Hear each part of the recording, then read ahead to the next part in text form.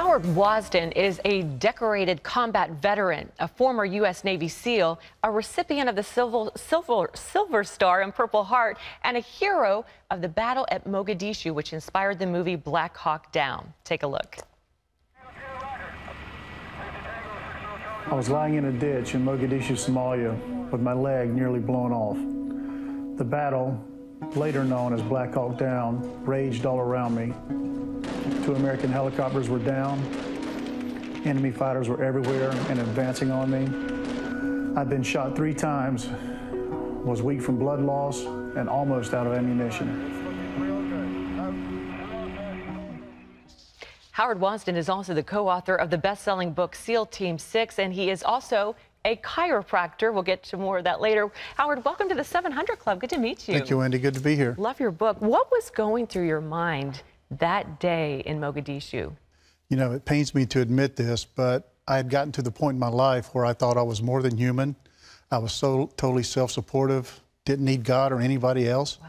I thought I was God's gift to tactical warfare. I'd been in battles, training accidents where buddies had been hurt and killed and I'd never gotten a scratch. Never gotten a scratch, but this time, now your right leg is hanging on by threads of flesh. Yes. Uh, you're begging the doctors not to amputate. They reluctantly uh, agree not to at first. How difficult, Howard, was your recovery? You know, the physical recovery, I almost died from a um, staph infection. Um, had to go to daily debridings where they scrub out the uh, necrotic tissue. But that, that recovery wasn't near as bad as the mental recovery, the mental war that I was fighting with myself, the, uh, the post-traumatic stress that I didn't know I had. Because you had come home from the battle, uh, you know, over there you were a hero. You'd sort of come back. Your wife is sort of estranged from you when you're feeling vulnerable. Uh, and you say you, you were losing the, the battle in the mind. How so? Well, I was suffering from something called survivor's guilt. And I was also survive, or, uh, suffering from a lot of other things, not being a good husband, not being a good uh, father the SEAL team was the only thing in my mind. Given my abusive childhood, I had gotten to a point where I thought I could mm. totally protect myself and those around me. And the battle of the mind that I was losing was that false sense of being in control of my own destiny. Now you were a sniper by profession. Did you did you ever feel guilty about killing the bad guy? It's funny you asked me that because when I came back, one of my overriding fears was that since I had done this so many times, oh, wow. that um, is there a special place in heaven or hell for me? And I actually spoke to my childhood pastor who um, assured me that I was going to go to heaven. You know, um, I wasn't going to go to hell just because I had been in war, but you'd be surprised. On my website, I get tons of um, posts, people telling me, of course you can't go to heaven. You know, you were in war. Oh, well, that's just not biblical at all. He explained well, that to me, yeah. Well, you say you went from sort of being a rock star to rock bottom. How did, how did you turn it around? How did you turn your life around? Well, I had to do a few things. First of all, I had to admit I had a problem. The problem being survivor's guilt, um, and then later on, about with alcoholism. Mm-hmm. And the big thing um, is just not blame everybody else for my problems. And I went through a phase where I was shaking my fist at God, where I was literally angry mm. at God. You know, why did you let this happen to me? So I had to realize that when I was in that dark place, the light hadn't moved away from me. I had moved away from the light. So after two failed marriages, uh, you really thought you would never find love again.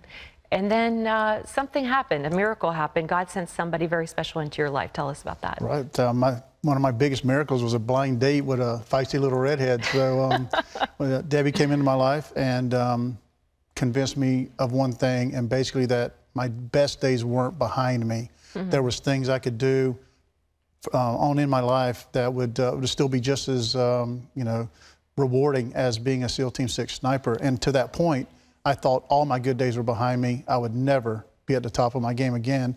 And she's the one that taught me into being a chiropractor.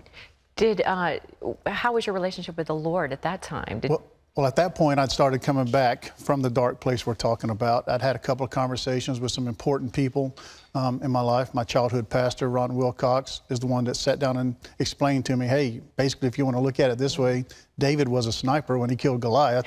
So that was a good analogy. Yeah, so um, um, that uh, had got me softened up a little bit. I'd been into some counseling and uh, with Debbie, seeing the way she was and her peaceful spirit and her relationship with God, that, that just made it even easier for me to get back on the right track. How is your leg today? Because I'm reading this book and I'm thinking, you know, this is the, the it was horrible the way you described it in the, in the recovery. How is your leg today? It's good. Um, I see patients every week, and sometimes they notice a little limp going from room to room. But you know, I'm so blessed just to be here and to still be alive and have my family and my patients, and thank God my, my legs still. So on the days I have that little bit of pain, it's it's no big deal. I'm- So Debbie's the one who talked you into being a chiropractor because you were so enthralled by what was happening to your your own recovery. That's your- right. Um, when you come back in the military, we'll give you all the drugs you need, all the surgeries you need. But I went to a chiropractor when I was a police officer in South Florida, and um, after seeing a chiropractor two or three times, I was pain free. And the big thing, sleeping through the night for the first time in eight years. You know, it's interesting. In the book, you talk about uh, a little boy there in Mogadishu, a 14 year old, who had a similar injury, although he had lost his leg, and you were able to take care of him. And then, ironically, you ended up having getting injured almost in the exact same place.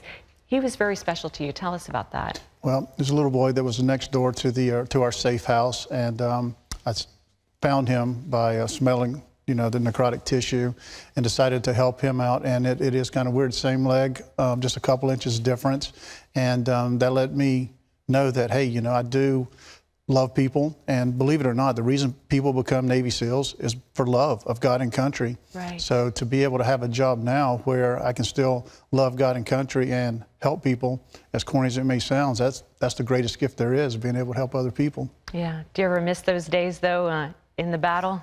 Oh well, my wife's going to kill me for saying this, but yeah, there there used to be a lot of days when I um, really really missed it. The day Osama bin Laden was killed, I remember yeah. prancing around the um, living room wanting to gear up, and my wife's finally just like, "Sit down, you know, relax." But um, my days now are spent more being blessed and realizing the blessings I have instead of wishing for the past. Right. Well, there are different kind of warriors. I guess once a warrior, always a warrior. But uh, anyway, the book is fascinating. There's so much more to Howard's story, and you can read it all in his new book called The Last Rescue. It's available wherever books are sold. Howard, thanks so much for being with us today. We so Thank appreciate Wendy. it. And thank you also for your service to our country. My God pleasure. bless you. Thanks.